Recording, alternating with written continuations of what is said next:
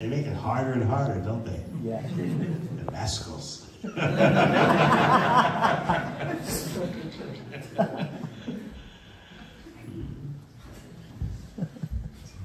Get the job, marry, have children, have some property investments, especially in Albert Park.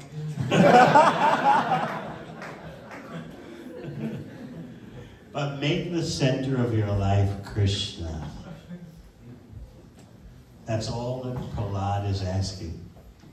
Realize how short your life is and how little time you actually have. All right? As they say in Australia, fair enough. Any questions?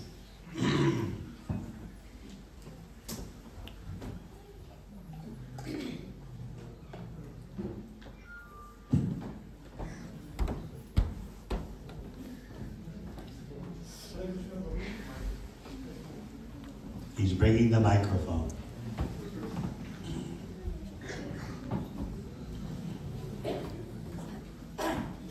Hare Krishna Prabhu. Yeah, uh, thank you for your speech and uh. I do want to ask a question which doesn't align with my values, but I just want to ask your opinion on it. Given that uh, previously there were two genders, now there are multiple genders out there, and uh, the preference, partner preferences are changing. What would you, how would you uh, advise everybody on this topic? Why is it important for you?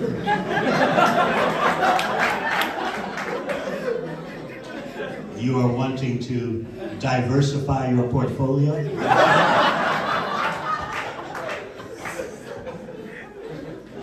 I would say uh, there is a few reasons for it. Let's say when you walk into a workplace or any form of a social community Mm, service, you're right. You are, we need to be acceptable of their people's Yes. opinions and Mm, their preferences. Yes. And uh, especially a workplace where you get to, you will be enforced upon or maybe even though you don't accept some of those things. I wish to, okay, I wish to stay neutral, even though I don't. Here's the best way to stay neutral. You're not the body. Whether you classify yourself as this gender, that gender, multiple genders, still, what Krishna says in Bhagavad Gita is the fact. You are different from your body. You may change the labels on the clothes you're wearing, but you're not the clothes. Similarly, you're not your ethnicity. You're not a product of the land of your birth. You're not this gender, that gender. All those are externalities. You are spirit soul, part of Krishna, the Supreme Soul. Every other identification is false. You would not go around telling people that you are the shirt you're wearing, right? People will think you're crazy. I, guess what? I've just discovered that I'm this shirt that I'm wearing. What do you think? Do you like it? People will think you're nuts. But society is so bewildered and so mad that people do think they are their body, whatever body type they have. So you need the knowledge that Lord Krishna gives in Bhagavad Gita, which will light your path in front of you.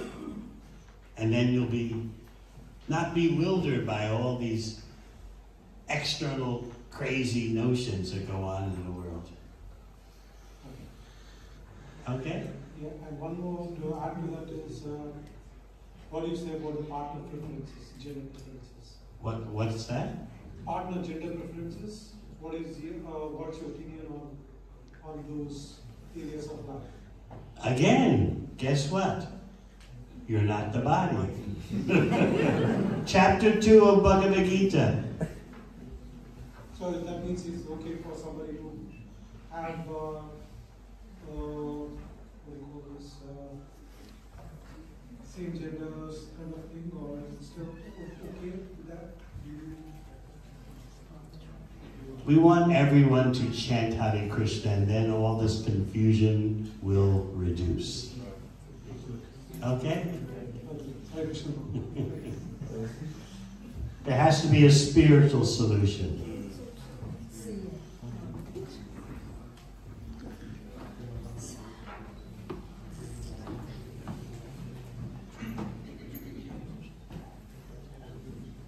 Hare Krishna Maharaji. I wanted to ask, um, uh, often we uh, emphasize the relationship between body and the soul, but here I'm more concerned about my mind, which is the main culprit driving my soul's, uh, soul towards accomplish, uh, materialistic accomplishments or the my desires. So, what happens to the mind when the soul leaves the body? Does it follow the same soul, it's something? It's a different.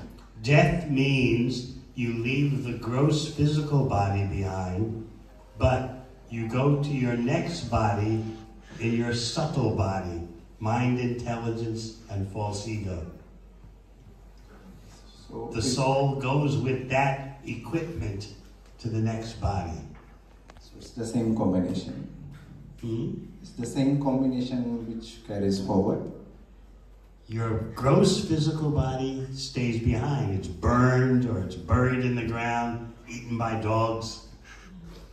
But your spirit soul goes to your next body within the spiritual travels within what's called the subtle body, made of mind, intelligence, and false ego. That's still a material body, though. So when you chant Hare Krishna, you're purifying your subtle body. You're purifying your mind, intelligence, and false ego. And gradually, real ego develops. You know what real ego is? I am Krishna's servant. I am part of Krishna. I'm meant to engage in Krishna's service. Okay? Hare Krishna. Hare Krishna.